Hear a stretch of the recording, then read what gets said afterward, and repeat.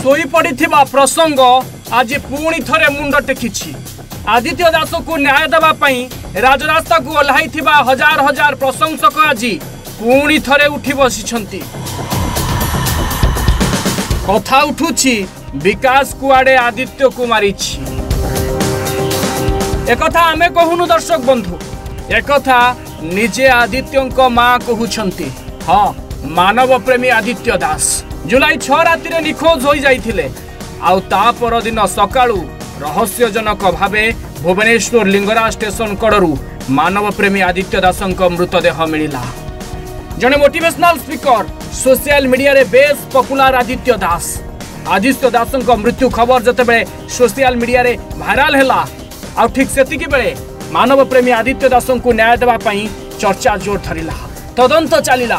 ଆଉ ଏପର୍ଯ୍ୟନ୍ତ ବି ତଦନ୍ତ ଚାଲିଛି ଆଉ ଆଦିତ୍ୟ ଦାସଙ୍କ ମୃତ୍ୟୁର ପ୍ରକୃତ ଦୋଷୀ କିଏ ଏପର୍ଯ୍ୟନ୍ତ ସାମ୍ନାକୁ ଆସିପାରିଲେ ନାହିଁ ଅନେକ ବାଦ ବିବାଦ ପରିବାର ଭିତରେ ଉଠିଲା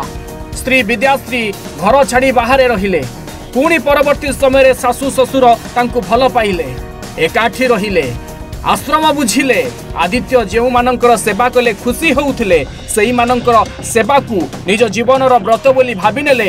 ମାନବପ୍ରେମୀ ଆଦିତ୍ୟ ଦାସଙ୍କର ପତ୍ନୀ ବିଦ୍ୟାଶ୍ରୀ ଆଉ ଆଜି ଏକ ମାଉସୀଙ୍କୁ ନେଇ ଚର୍ଚ୍ଚା ଜୋର ଧରିଛି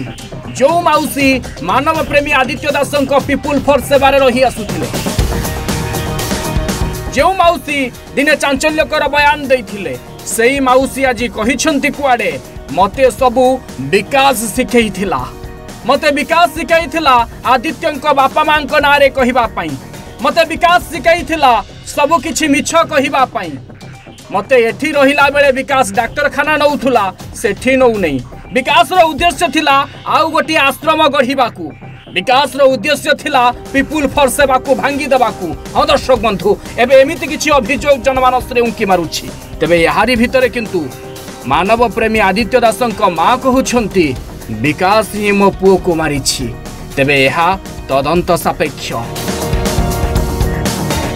রিপোর্ট ওড়িশা ভাস্কর